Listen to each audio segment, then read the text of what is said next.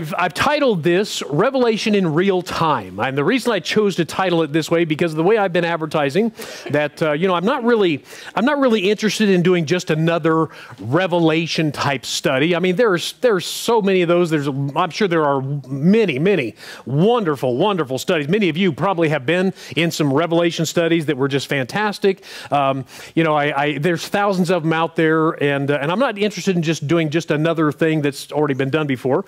But rather, you know, I, I, because there are so many out there, and please just just let me let me just tonight's an introduction, but because there are so many out there, if you got online, if you got on YouTube or you you know you you Googled or something, you'll find thousands and thousands and thousands of studies. A lot of people, that's all they like to study is the book of the Revelation, and prophecy, and things like that. And, and, and, and there are some that that's just, you know, that's really all they know. And, and the, the problem is so much of that that's out there, frankly, has a lot of errors in it. You know, despite all the good ones, there's a lot that have errors. And I'll tell you, I, I believe that, that those that are, that have serious flaws in them uh, come about because of two reasons. The first is that there are too many too many Christians who who want to, you know we we have a tendency to make claims that we know stuff that we don't necessarily know okay? You know and especially in something like the book of the revelation many of them make claims about well i know what this passage i know what this i know what the number of the beast is and i know what this is and but when there's things, there are things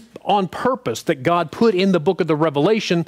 They were meant to be mysterious. They were meant to be a little cryptic. They were, they were not intended for everyone to be able to just know what they mean. And so, uh, you know, so so it's it's really not good scholarship to you know to uh, to start with something that you you believe and then try to make the scriptures fit you know what it is you believe and uh, and, and so forth. So that's the first thing. The second thing, though, and it's really the one I'm going to deal with mostly, and it's really the, the foundation of this study.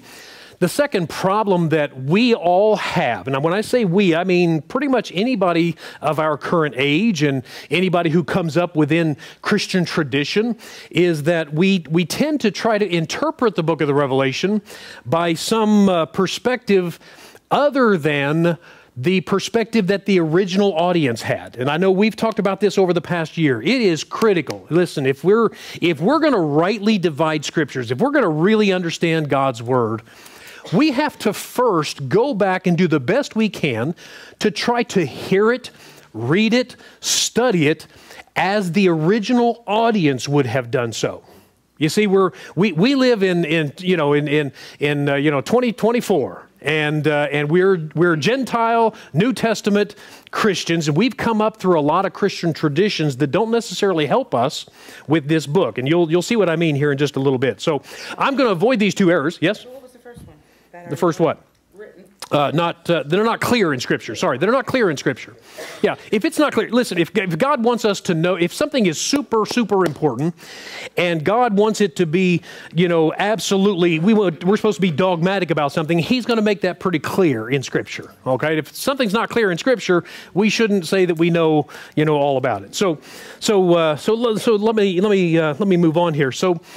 I'm going to avoid these by not being dogmatic. Listen, there are parts of the book of the Revelation that, you know, uh, the best the best scholars can do is simply say, well, here's what I think this means, or here's what I think is happening here, and uh, you know, and and and that ha- just has to be good enough.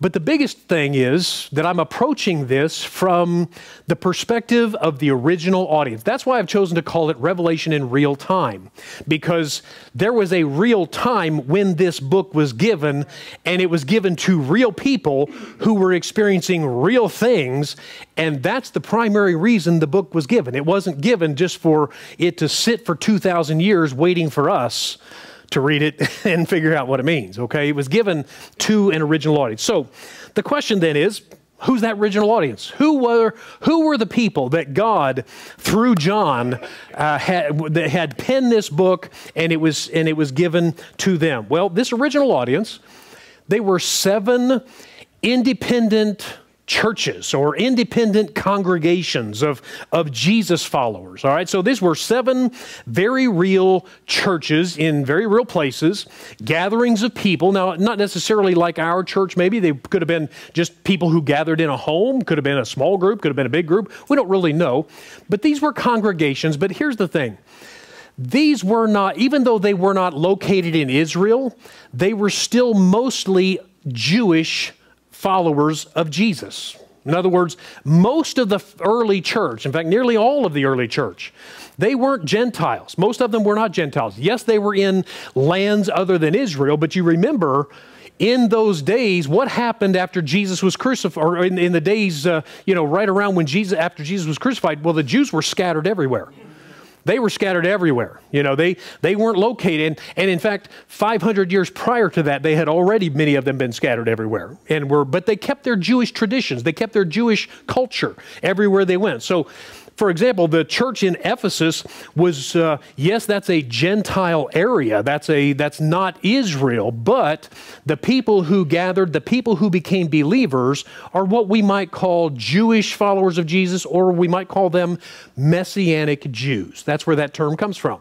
In other words, they believed that Jesus was the Messiah, unlike the majority of Israel at the time. So, so that's, that's what we're talking about. You know, the, and so that's the perspective we have to come at this from. We have to come at this from a perspective that is more Jewish than Gentile. And, and let me just uh, let me just kind of kind of take a moment here. I taught this a few years ago.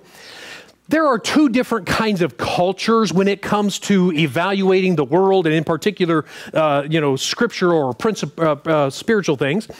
There's what's called a Hebrew culture, and there's what's called a Greek culture. Now, those don't necessarily mean that Hebrew is only Israel or that Greek is only Greece. That just those are terms that re- refer to cultures, but they view the world differently. We live in a Greek culture, for instance. We, we uh, you know, Americans, we have all grown up in, in what's called a Greek culture. Let me explain the difference.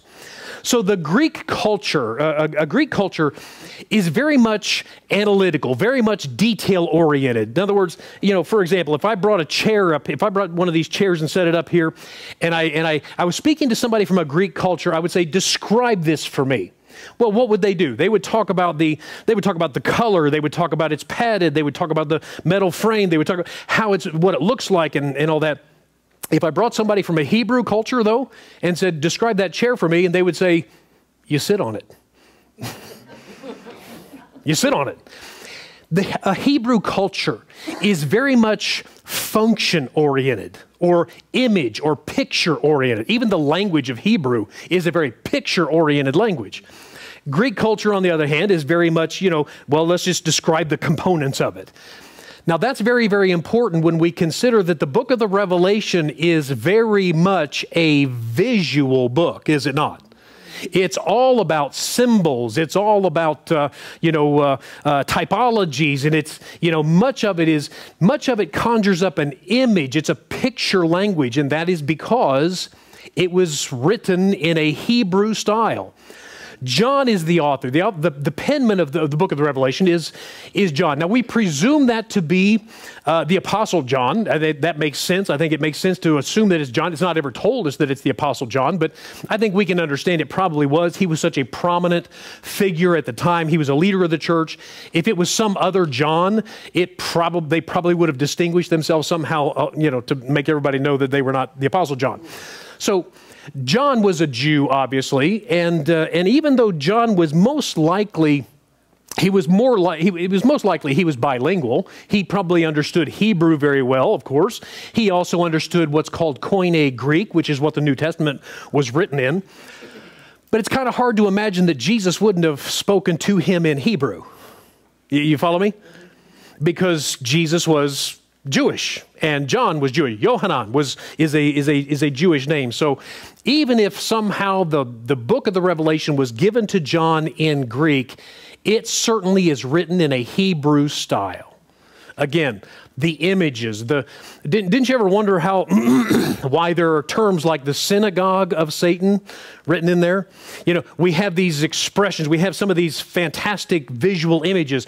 Uh, how many of you have read the book of the Revelation? Raise your hand, just so I, I kind of get an idea. Okay, so you've read about, for example, you've read about locusts the size of men with the faces of men and a tail of a scorpion rising up out of a pit and and going all over there you know and, and i mean that that cre- now if if if we're looking at that through our perspective you know we're picturing literally this like locust legs and you know a tail and all this and and that could very well be. But from a hebrew cultural perspective what we're talking about is just a, a, a ferocious, vicious, violent attacker of mankind. It could be, it could be a, a, a military helicopter, for all we know. You, you follow what I'm saying?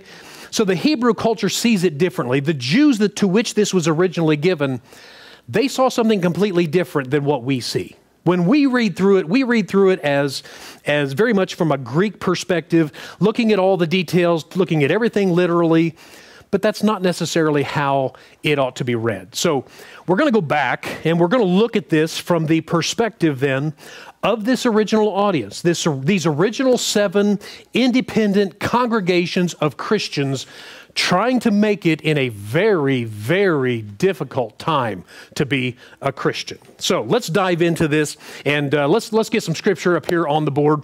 Revelation chapter 1 and verse number 1. Here we go. And by the way, this is not going to be a lengthy series. I, I once had to endure a three year uh, study of the book of the Revelation, which was about as dry as, uh, you know, as, as if you still have Christmas cookies in your house. Yeah, it was that dry. And, uh, and it was just torture. And, uh, you know, I, this is nothing like that. This is probably a six or seven week uh, study, but, uh, but we're, we'll just kind of see where it goes. Here we go. The revelation of Jesus Christ which God gave unto him to show unto his servants things which must shortly come to pass. And he sent and signified it by his angel unto his servant John. I draw your attention back, as I did Sunday morning, to the first five words there, the revelation of Jesus Christ. Now, I'm not going to re-preach what I preached on Sunday. You can get on YouTube and listen to that. But what we were talking about on Sunday was this book is a revelation of what I call the real Jesus. Now, it's not that the Jesus we read about in the Gospels wasn't real Jesus also. I mean, it, you know, it's, you know, the, the, he, yes, Jesus was the good shepherd. Yes, Jesus was that kind and loving shepherd who cared for his sheep. Yes, Jesus was that uh, Savior who looked out on Jerusalem and, and, and, and, and wept when he saw the people were scattered as sheep without, uh, without a shepherd. Yes, that was Jesus. That same Jesus who was so compassionate, so loving, and so gentle much of the time, that was the real Jesus also. However, when I the point I was trying to make on Sunday and that we're going to kind of kind of look at tonight and really what this book is about, the Jesus that we see in the book of the Revelation is no longer that lamb being led to slaughter. All right, he's the lion of Judah. You know, we talk about we're already looking forward to March. Yes, we're all we're all tired of this. We're all sick of this winter, and you know they talk about March uh, coming in like a like a lion and going out like a lamb.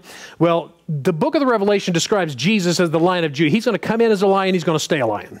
okay, that's just how it works, and uh, and so forth. Now, but what I want to draw your attention to tonight is that word revelation the word revelation. On your study guide, I gave you the Greek word. The Greek word is apocalypsis. Now, what does apocalypsis sound like? Apocalypse. Obviously, that's where we get the word apocalypse. Now, I'm going to ask you a question. What does the word apocalypse or revelation, same thing, revelation in English, apocalypse in Greek, what does that mean? Now, if you have a Bible, before you answer, if you have a Bible that defines it, please sit this one out. All right? And if you're smart like Suzanne is always, you sit this one out too. Nobody likes a know it all. No, no. Actually, everybody likes, loves that know it all. Uh, listen, if you, so, so you just tell me, according to your, your, your experience, let's just talk about your experience in life, my experience in life, your experience in church, or in just being a, a citizen of the world. What does the word apocalypse mean? What, what, what images do you have in your head when you hear apocalypse? John? Uh, for me, uh, I'm an uber nerd. So um, I look at, uh, there's a movie called uh, X Men Apocalypse. Okay, so the villain in the X Men universe. Right, so you see these, uh, you see the superpowers, you see the supernatural part of it. What do you see? Fire. Fire. What else? Apocalypse. Kurt. Ragnarok. Ragnarok? You're a Thor. Is that a Thor thing? War. You know, Armageddon, right? You know, in time. Oh, go ahead. Destruction. Destruction. In times, right? Go ahead. Revealing something. That, I said if you're a smarty pants, don't sit this one out. That is what it is. Look, that's so so look for most of us though, that's what we think, right? We think uh, Armageddon. We think, you know, apocalypse, that's the end of the world kind of stuff, right? When we, some even think zombies, you know, that sort of thing. You know, that's, that's kind of what we Im- imagine. Where'd we get that idea? Well, that seems like that's what apocalypse means, but that's actually not at all what the word apocalypse means. The word apocalypse or the word revelation means exactly what Chad just said. It actually is a word that just simply means a revealing of something that has previously been hidden. The word, that's hard to believe, isn't it? But the word apocalypse, you and I have been so conditioned. This is where we, this is where we see one of the first flaws that that have come about with this book because of the, honestly, the religious culture for 2,000 years. Religion has been making the word apocalypse into something that it's not. We think of apocalypse as all these end time events, wars and, and chaos and cataclysms, natural disasters, all these things, but it actually doesn't mean any of that. It simply means a revealing of something that has previously been hidden. It's actually a very simple and innocuous word. And, and so it's, it's, you know, it's interesting, though, isn't it? It's very interesting that practically all of us, except for Chad and Suzanne, of course, we all, we all thought that apocalypse meant, yeah, destruction, end time events. And so it shows us the, the, it's interesting because actually every culture in the world associates the word apocalypse with end time events and cataclysms and all of that. So, and, and, they really have no idea that the word apocalypse first appears in the Bible, in the book of the Revelation. But the, but the fascinating part is how we've changed its definition over the last 2,000 years to be all about those events that come later in the book of the Revelation. You see, where did we get all that? How did that happen? How did the word apocalypse come to mean earthquakes and Armageddon and all those things? Well, because the church has read the book of the Revelation for 2,000 years, and we've always focused on those later events. See, those are the things we focus on. Those are the things we, we dwell on because, after all, they're cool. You know, it's it's it's cool to think about what could these locusts really be. You know, I mean, because this is really these man-sized locusts, and you know, it's going to do all that. So so this is what has happened, and so but what's happened then, and here's the sad part though. So what's actually happened is we as a Christian culture, we have taken the focus away from where it really should be, which is the first part of the book the message to these churches, to the, the viewpoint they would have had, and we've shifted it, and we basically just, those, you know, don't, I'm not going to ask you to raise your hand, but I think most of us, when we read the book of the Revelation, we basically read the first three chapters just because we have to to get to chapter four. Because that's where all the cool stuff starts. The problem with that is the focus was supposed to be on that first part. The focus was supposed to be that, and from a Hebrew perspective, the original audience, they would have, of course, read the last part of the book, and I'll, I'll, explain how it breaks down here in a minute. They would have read it. They would have had some interest in all those end time events. They would have, of course, wanted to know what's going to happen. But their primary focus would have been on that part of it that was written to them for that part of their lives because they needed to know how to get by because they were under severe persecution. And there was a message that God was giving to them to encourage them. The book of the Revelation, the purpose of the book of the Revelation was not to reveal so many cool things about what's going to happen and what Hollywood can make movies out of. It was to encourage the Christians, and that purpose is still here today. We should be encouraged by the book, not scared of it, not fascinated by all the later events. So, so that's the approach. That's the approach we're going to be taking here.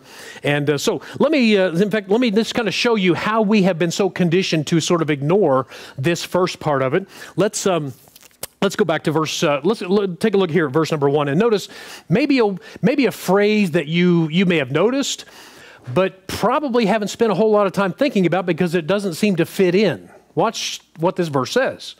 The revelation of Jesus Christ, which God gave unto him to show unto his servants things which must, what are the next words?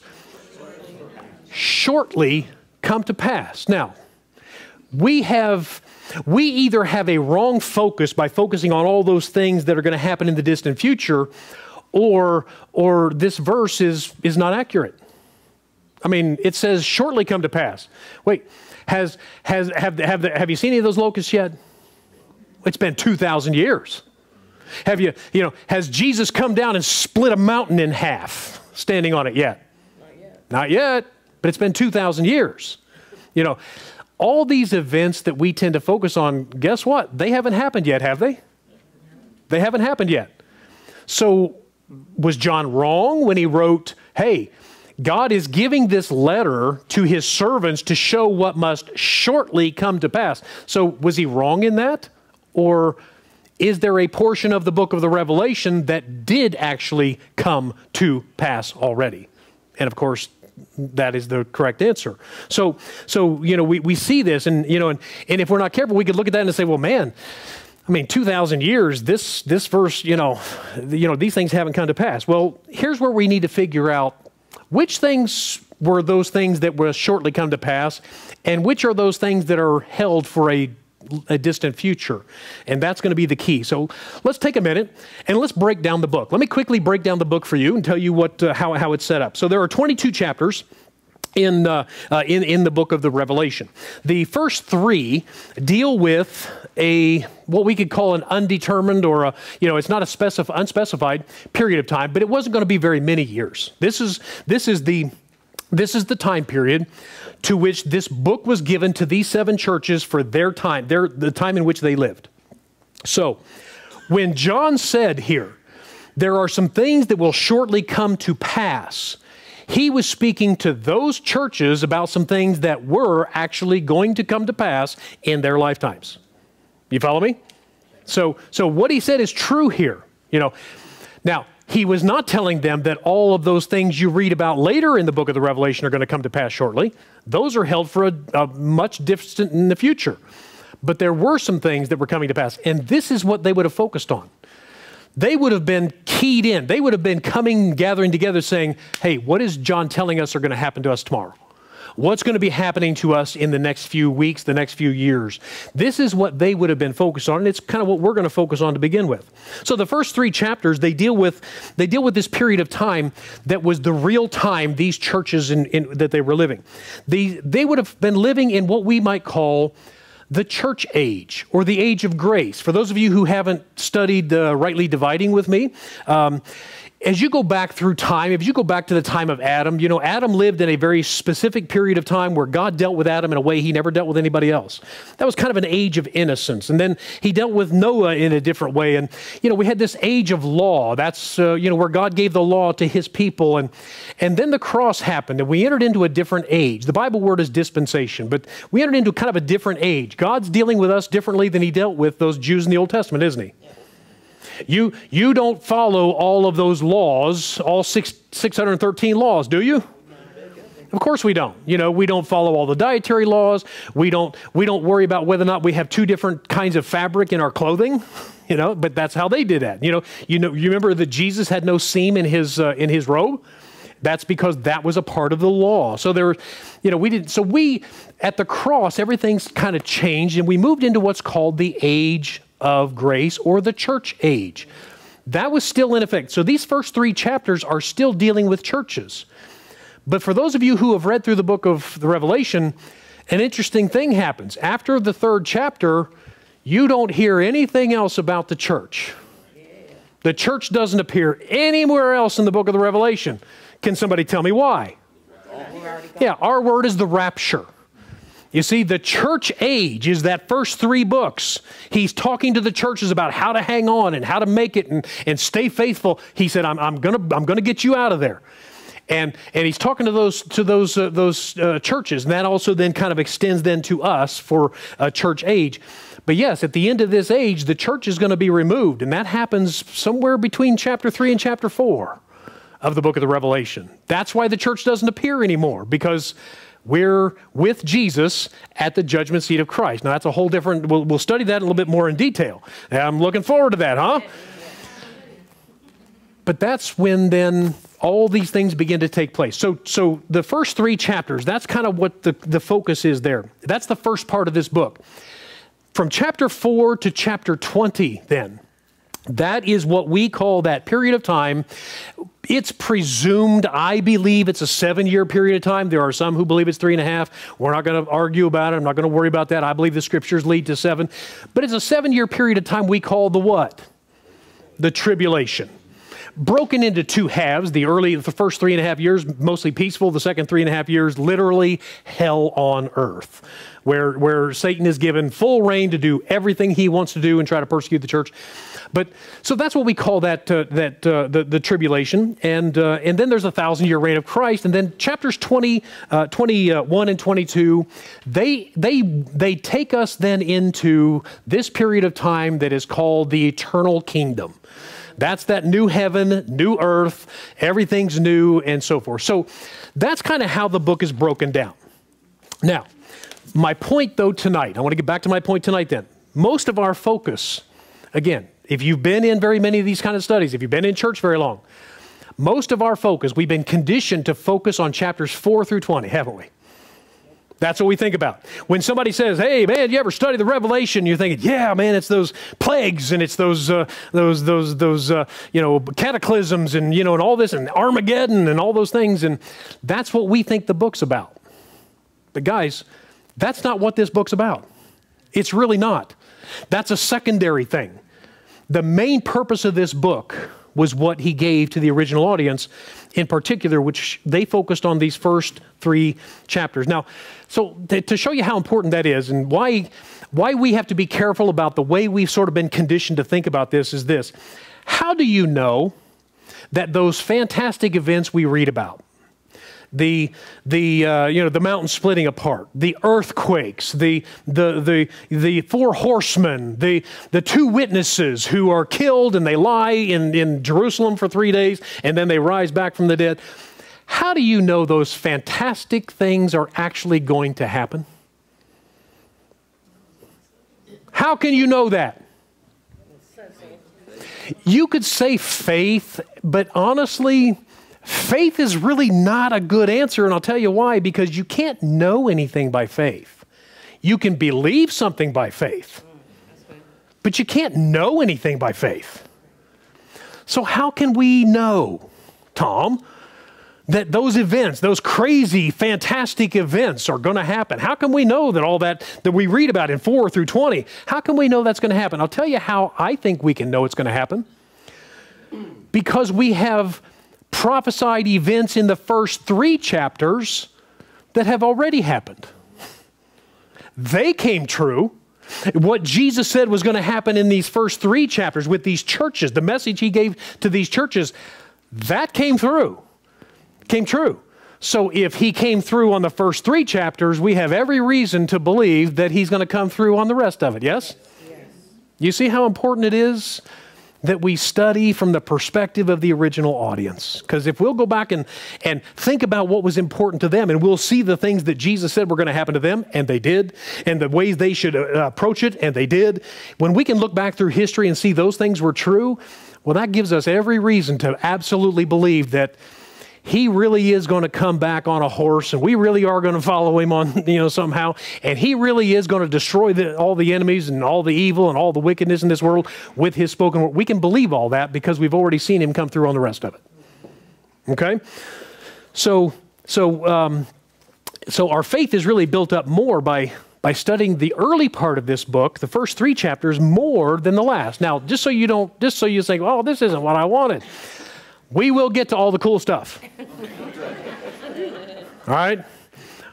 We're going to talk about how the Hebrews read the mark of the beast, and it's going to surprise you. It's not what we think. You know, I think we all picture a, a, a tattoo, 666, on everybody's forehead. I don't want a tattoo. You know, I wouldn't get that tattoo. That's what we think.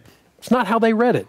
We're going to learn how they read that, how they interpreted that, and it's really not as mysterious as we make it. It was never really meant to be all that mysterious because the Jews understood exactly what was being said there. We're going to learn that. So just kind of hang on uh, until we get there. So let's, uh, let's get back to our text then. Verse number two. Here we go. So he continues on who bear record of the word of God. And by the way, each, we're going to go much faster than this. We're, we're only going to get into these verses tonight, but we'll go much faster after tonight. Who bear record of the word of God, of the testimony of Jesus Christ, and of all things that he saw. Blessed is he that readeth, and they that hear the words of this prophecy. Let me take a time out. He is promising a blessing to anybody who reads this letter. I mean, that right there is a pretty cool thing. You want a blessing from God? Just read it. You don't have to do anything else. You don't even have to, you don't have to meditate on it. You don't have to study it. You don't have to come to church. Well, you ought to come to church. I wish he had said that. You don't have to come to church. You just have to read it. You just have to read it. But then he said, notice, he said, and hear the words of the prophecy, and keep those things which are written therein. Now, here's where this original audience would have seen this completely different than the way we do. You see, they were being, it was being written directly to them. They were being told, hey, you need to pay attention to these early things that God is, that, that uh, John is telling you because your blessing depends on it. So now, but here's, here's what I want to draw your attention to. Again, these are the phrases we kind of we kind of skip over. What does the last part of this verse say? For the time is. We're only three verses into this book, and can't you already see how we have all been guilty of sort of focusing on things that are going to happen 2,000 years after this was written when he's talking about things that are going to happen right now? You see that? That's, that's what I wanted us all to get tonight. We have to sort of get out of our Greek oriented culture, our 21st century Gentile, pretty much an easy Christianity. I mean, let's be honest, we've got it pretty easy. From a faith standpoint, I mean, from a, from a, you know, from a standpoint of what it means to be a part of the family of God. We don't have to really do a whole lot. We just have to believe. Jesus did it all. He did everything, but it wasn't always that way. But he said, For the time is at hand. So he's speaking to people for whom this book was very timely. It was, revela- it was revealing of something in real time, like today for them. And we want to understand how they read it. So let's kind of get into the minds of that audience then, and uh, let's take a look at verse four. Let's continue on here, and we're uh, I've got to I've got to hurry. Here we go. So, John to the seven churches, this is the audience he was talking to. The seven churches which are in Asia, grace be unto you and peace from him which is, and which was, and which is to come and from the seven spirits which are before his throne. Probably next week we'll talk about what most of the Hebrew scholars would say these seven spirits are. You know, we don't really think about that much uh, before his throne. But what I want to draw your attention uh, to here is this, uh, this, this uh, expression here, which was and which is to come. I'm sorry, which is and which was and which is to come. All right, Th- that denotes three different tenses, right? It's a, it's a present tense, which is. It's a past tense, which was. And it's a future tense, which, which is to come. Now, this obviously is speaking about Jesus, but let's we're going to come back to this verse. Let's go ahead and read. So there's no question who's being talked about here. Look at verse 5. We'll come back to that. And from Jesus Christ, who is the faithful witness and the first begotten of the dead, the prince of the kings of the earth, unto him that loved us and washed us from our sins in his own blood. Now, again, you, you note, notice there, he is clearly speaking to Messianic Jews. Jewish followers of Jesus, not not uh, not uh, you know Orthodox, uh, you know not Judaism. And again, I guess I should have said this at the beginning. Remember, a term like Jewish, yes, it has a religious connotation, but it's also a culture. Messianic Jews still keep the traditions of being Jewish. Okay, they still grow up with the same traditions. So that's kind of what we're that, that, that's that's what we were talking about. And so, and from Jesus Christ, who's the faithful witness and so forth, washed in His own blood. So we know that uh, He's talking about uh, those who are followers of Jesus Christ. Look at verse six, and hath made us kings and priests unto God. Now I'm just going to take a little time out here. Have you ever dwelt on that part of that verse when you read the book of the Revelation? Of course not, because we don't know what it means. because it's hard and it sounds weird and we want to get to the apocalypse stuff. We want to get to that cool stuff. But he said we're going to be kings. Wait, Jesus told you you're going to be a king. I'm going to be a king, and we pass over that in order to get to that other stuff. And we don't stop and think, well, what does that mean? What does it mean we're going to be kings and priests and, and all of that? And to him be glory and dominion forever and ever. Amen. Well, we're going to talk about what that means. We're going to look at what that original group of people who got this letter, how they would have read that, how they would have interpreted that. And I think we're going to be pretty encouraged by it. So let's go back now to verse number four, and let me kind of finish up with this. Let me finish up with this, this, this expression here. From him which is, and which was, and which is to come. That is a past, a present, and a future um, uh, uh, image that we get there. Now, this is actually a reference to the Bible. The Bible refers to Jesus, and we've even sung, uh, I think this, the, the hymn is Praise Him. Uh, there's an expression, crown him, crown him. Does anybody know the last part? Prophet and priest and king. That's what this is a reference to. The Bible refers to Jesus as a prophet, and Jesus as a priest, and Jesus as a king. Now, let's talk about how this all works in this time period in which we're talking about. Jesus was a prophet. When he was uh, uh, when he walked as a man, his earth, he was a prophet. What does a prophet do? Well, a prophet is somebody in the past foretelling the future, right? That's what a prophet does. Jesus often said, "Hey, the kingdom of heaven is like unto a." Sorry, I just spit on you. What ha- you sit up here. You, that's what you get. But I appreciate you. that's why we keep tissues up here. What was I talking about? Ah, Pat, prophet. Jesus often said, "Hey, the kingdom of heaven is like unto a mustard, you know, a, a, tree, and or kingdom of heaven is like this." You know, Jesus was often saying, "Hey, this is what's going to happen someday." You know, like when Jesus said, uh, "You know, I'm going to come as a thief in the night." You know, he's going to come as a thief in the night. What does that mean? What does a thief do? A thief comes into your home very quietly, though. They, you, the, the inhabitants don't know the thief is in there. They come in, they steal out what is valuable, and the people wake up the next morning and wonder what happened to our stuff. And that's what Jesus was saying the rapture is going to be. He was talking about the rapture. He said, I'll come as a thief in the night. I'm going to take out what is, what is valuable. And the people of this world are going to be left in the morning when they wake up thinking, Where's Kurt? You know, where's Chad? Where's, well, I'm not sure you're going to make it. But,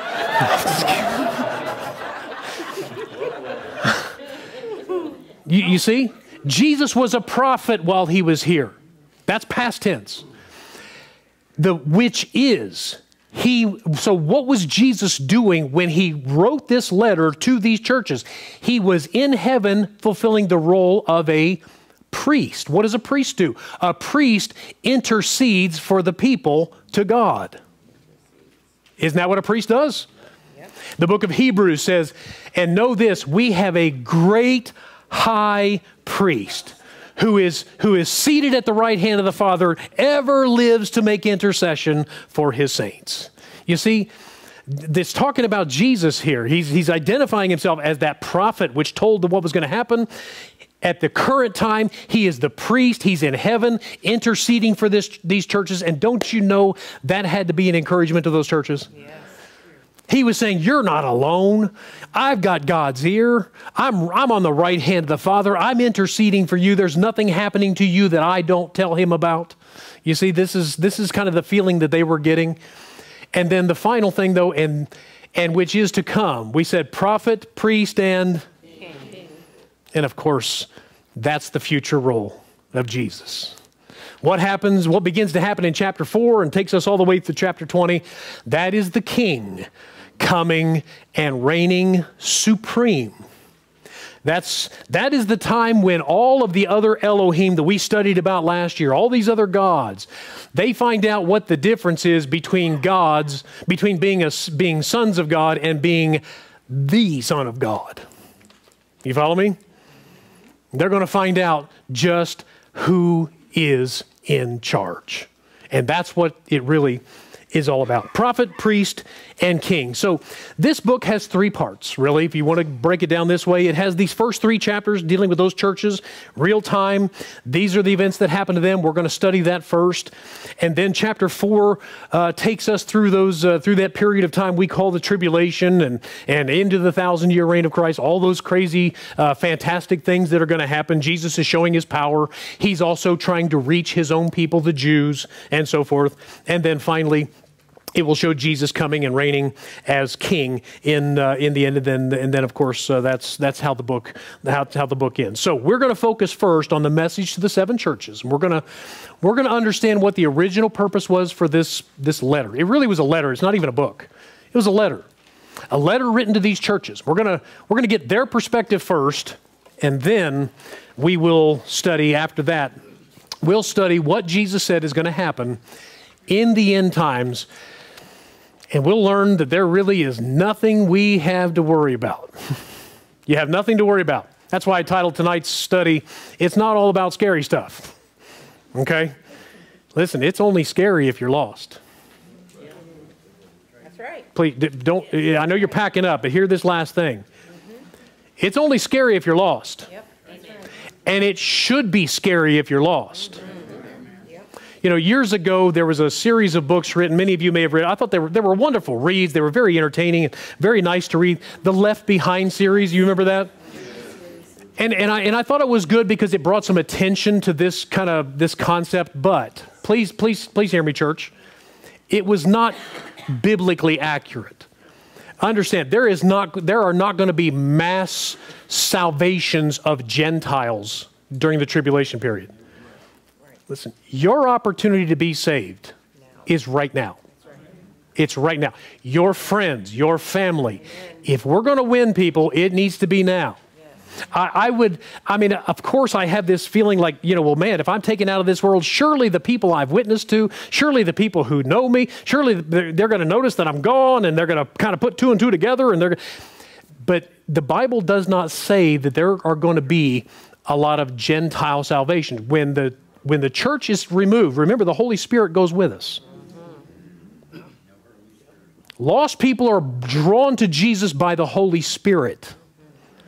When the Holy Spirit leaves with the church, the only spiritual influences left on this earth primarily are going to be dark ones. Now, God is going to return his attention to his people, the Jews. That's what those 144,000 witnesses are. They're 12,000 from each tribe. They're all Jews reaching Jews, just like the message of the, that was in the Gospels. You with me? I know it's 8 o'clock, time to go. Wasn't that the message of the Gospels? Yeah. Hey, Jesus came and he said, Go to the Jews, go to the Jews, go to the Jews, go to the Jews. The Jews rejected him, and then he said, Now go to the Gentiles. But once the rapture takes place, God's attention returns to his people. He is going to make a big, big focus and effort to reach the Jews. So listen, you should be afraid. If you're not a Christian right now, if you're not, you should be afraid. But you don't have to be. You don't have to be. Okay? And let's make sure that we get that message to the people who need it. Mm-hmm. Meantime, we're going to keep studying so we have answers to give to people. All right.